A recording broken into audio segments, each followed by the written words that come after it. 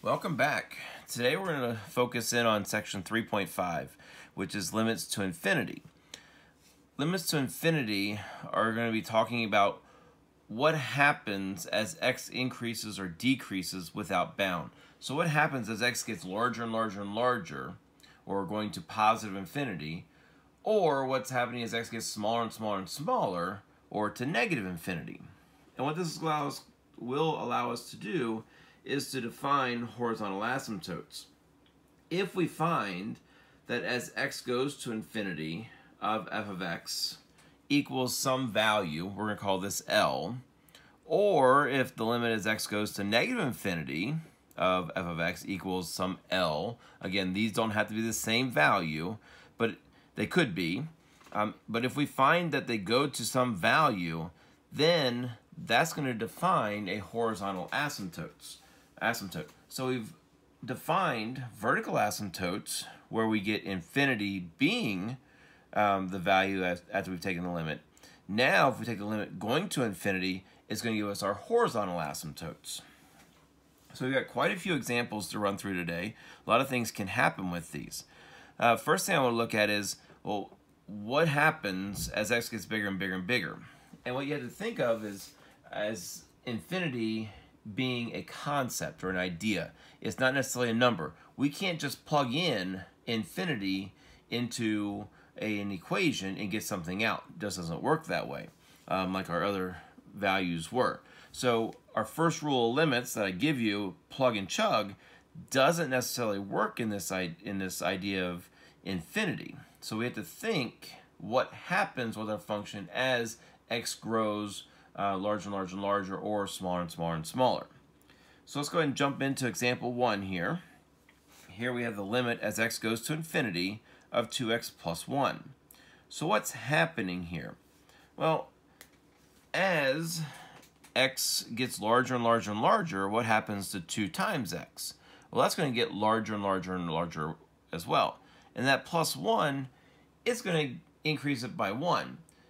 As we get bigger and bigger and bigger numbers, this plus 1 becomes very irrelevant because if we add 1 to a million, it's pretty close to a million.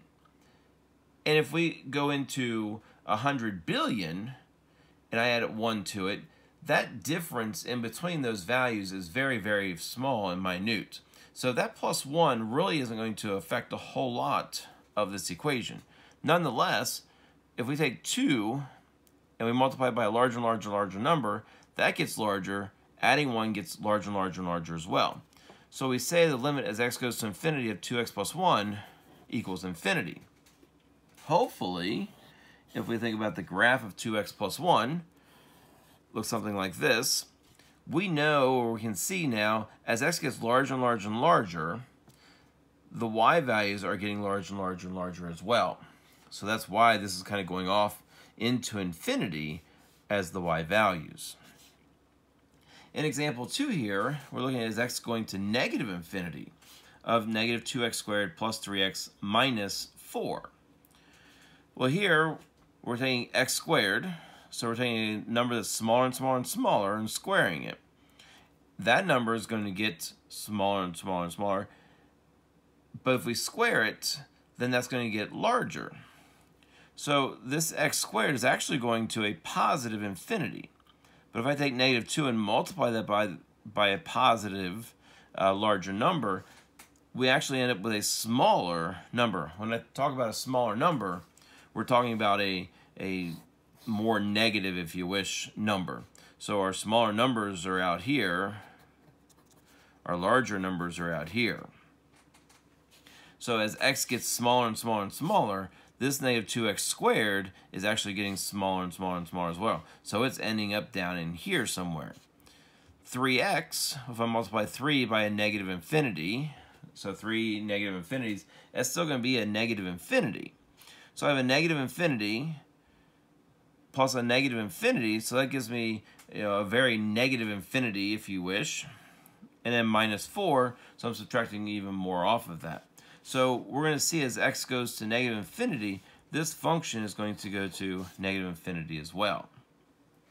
Remembering uh, with both example 1 and 2, when we have an infinity or a negative infinity, we're also going to put in the does not exist value. But we are interested in knowing which of these it is. Is it a positive infinity or a negative infinity? So I want to see both of that notation. In example 3, we're going to start in our rational equations or functions. Uh, we have the limit as x goes to infinity of 1 over x. So here, as x gets larger and larger and larger, well, what happens to 1 divided by a larger and larger and larger number? Well, if you don't know or you can't think too much about that, plug in some numbers. Uh, if I plug in 10, as x is 10, we get 1 tenth.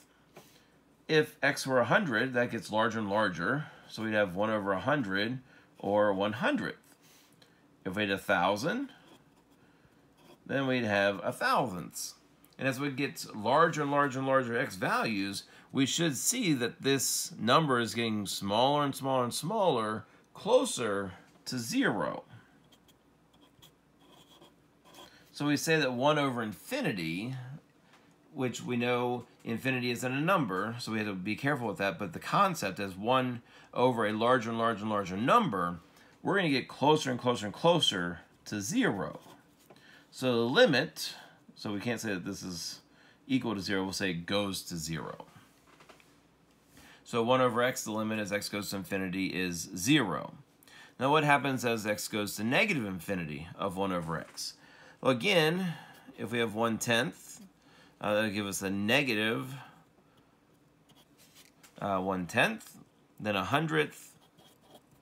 So again, hopefully we see that these numbers again are getting smaller and smaller and smaller, closer to 0. So we say the limit as x goes to negative infinity of 1 over x is also 0. If we look at example 5 here, the limit as x goes to infinity of 2 over x to the third. Well, what's happening here, as x gets larger and larger and larger, we're now cubing that larger and larger number. We're taking 2 and dividing it by that. So if I take 2 and divide it by a larger and larger and larger number, we're still going to get 0 out. Again, we could plug in numbers if you want. If you don't believe that, or if you don't like that idea, um, go ahead and pause and pull out your calculator and pull it, put in some numbers that are getting larger and larger and larger for x. So maybe plug in 10, plug in 100, plug in 1,000, and see what happens to 2 divided by that number. You'll see that it comes to 0 as well. These are very important concepts as we get into larger um, rational expressions. So here, we're taking the limit as x goes to infinity of x squared plus 5x minus 3 over 2x squared plus 3x minus 1. So here as x gets larger and larger and larger, x squared is getting larger, the 5x is getting larger, then we're subtracting off 3. Again, if you remember when we first started talking with limits to infinity, this stuff out here really doesn't have a whole lot of bearing on what's happening with x going to infinity. The highest degree is really going to determine what's happening with this function. So if we had x squared minus 5x to say, um, that minus 5x, as x gets very large, x squared is going to grow much quicker than a 5x is going to grow. So when we take the limit as x goes to infinity of a rational expression, we can eliminate the extra terms of this function because these are not going to give us a lot of bearing on what's happening with the function as x is very large. Same thing with our denominator. If we had 2x squared plus 3x minus 1, this linear and constant is not going to have a lot of bearing on this entire function as x gets very large. So as we did on the top, we can eliminate that extra stuff. And we can focus in on that largest exponent, or the highest degree of the denominator. So we can think of this as the limit as x approaches infinity of x squared over 2x. And if I simplify x squared over 2x squared, I end up with 1 half. So that gives us our limit as x goes to infinity of x squared over 2x equal to 1 half. So the limit up here is going to be 1 half as well. So what does this tell us? This tells us that the horizontal asymptote is going to be y equals 1 half. In example 7, um, it's going to be very similar. Here we have x squared plus 5x to the 1 half minus 3 over x to the 4th plus 2x minus 1 as x gets larger and larger and larger.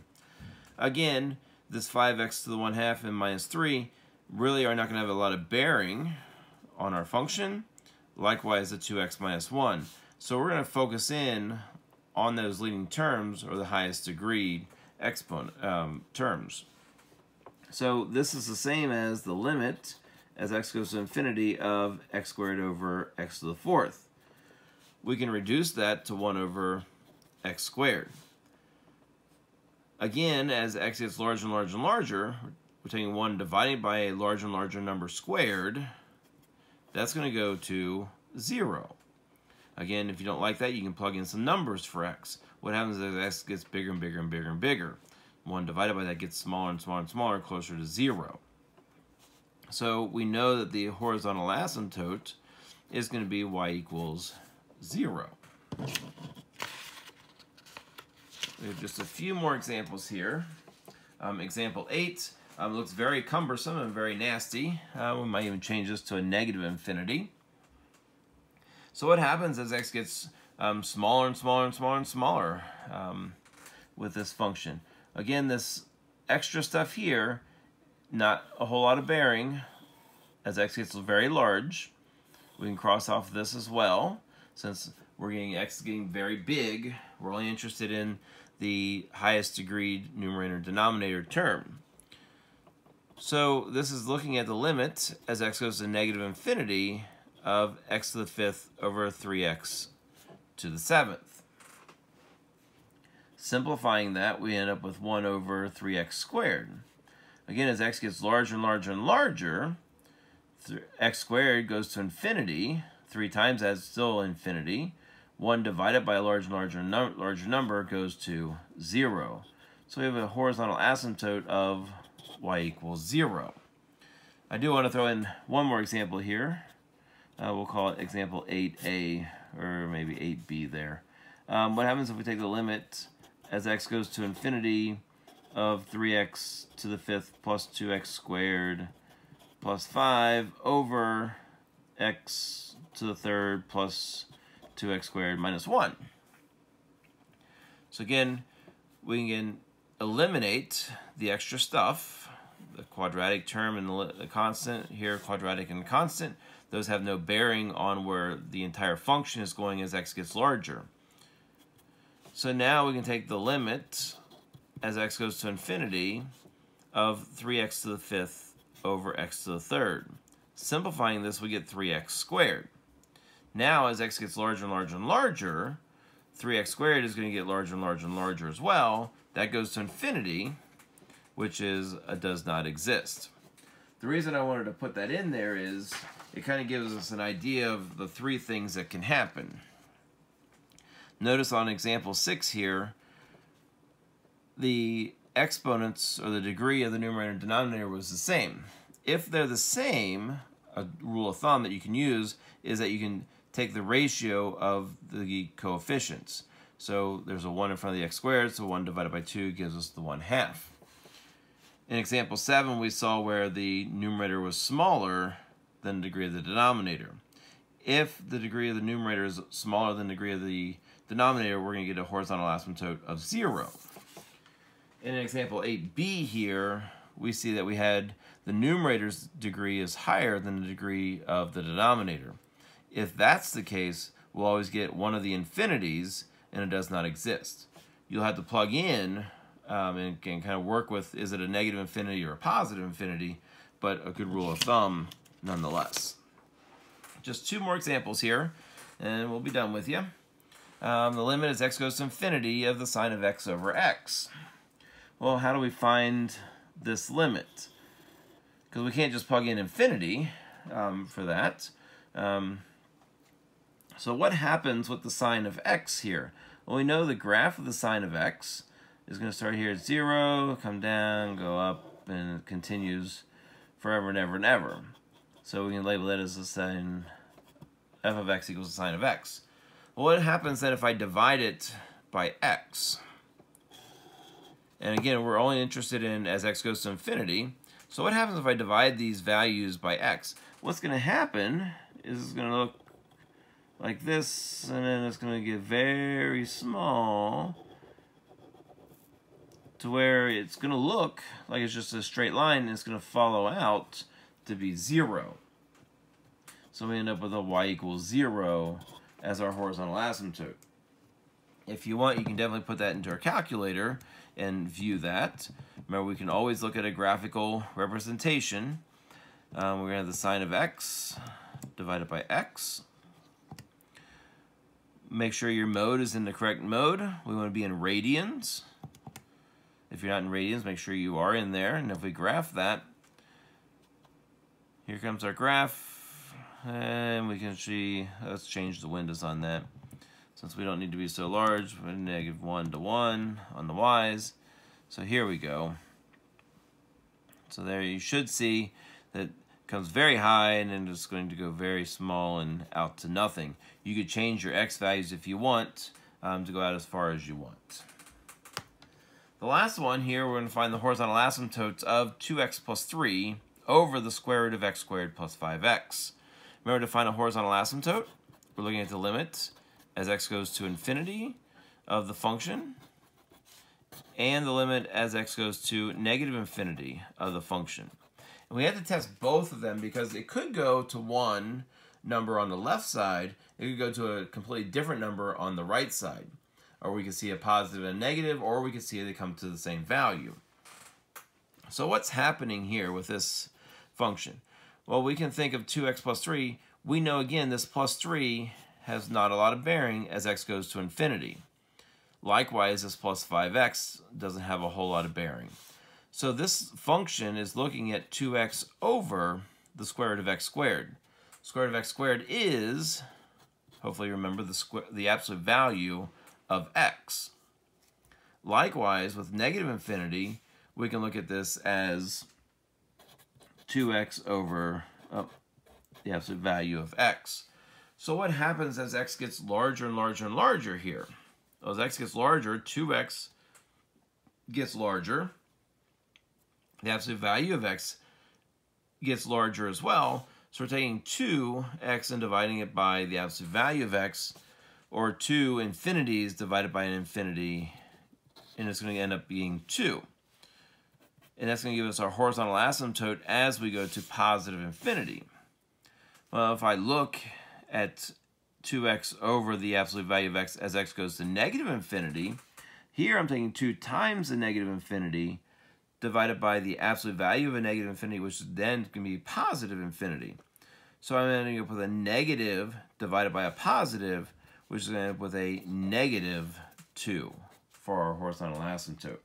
So what does that look like? Well, it'd be interesting if you had your calculator to go ahead and type that in. If you don't, I will go ahead and show that here. So we have 2x plus 3 divided by the square root of x squared um, plus 5x. And again, we're looking for the very large and very small numbers, so I'm going to change my windows, and we're going to change our uh, x's to maybe a, a negative 1,000 to 1,000, and my y min and my y max I'm just going to do a negative 5 to 5. I'm going to graph that. And notice our graph came through here, and up here, it went kind of out. Now, there's a lot of things happening here around 0, so don't think this is just jumps out and, and doesn't do anything. It doesn't necessarily work that way. It could, um, but what we're really interested in is what's happening way out here on our graph as x goes to negative infinity and x goes to positive infinity. And we should see that this value here is 2, or negative 2, and this value up here is positive 2. So that gives us a, a better indication and a clearer graphical representation of what's happening at our mm, extreme points, and to show that our horizontal asymptotes are at 2 and negative 2. And that's going to conclude our asymptotes or horizontal asymptote lesson. Happy limiting